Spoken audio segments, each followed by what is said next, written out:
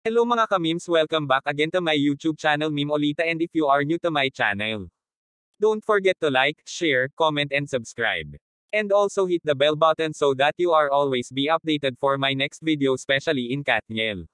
Daniel Padilla napakswert at kontento na kay Catherine Bernardo at wala na siyang mahihiling pa ayon sa kanyang pahayag sa isang interview. May real life partner kasama ko rin dito sa trabaho. Nakasabay kong natatanggap tong mga ganitong parangal. Kaya wala na rin akong mahihiling pa. Napakasarap lang sa pakiramdam and I am truly blessed.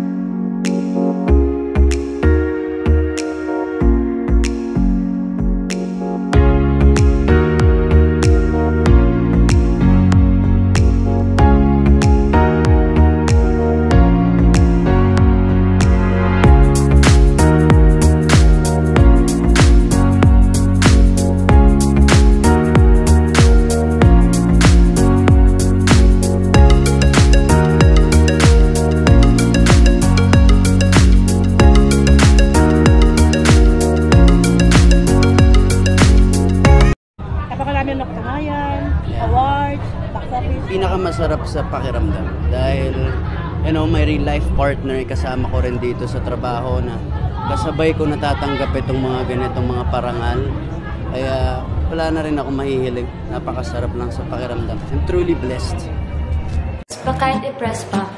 Huwag daw magpo-inject sa punga, di mas lalaki siya. Ano lang, um, it's natural.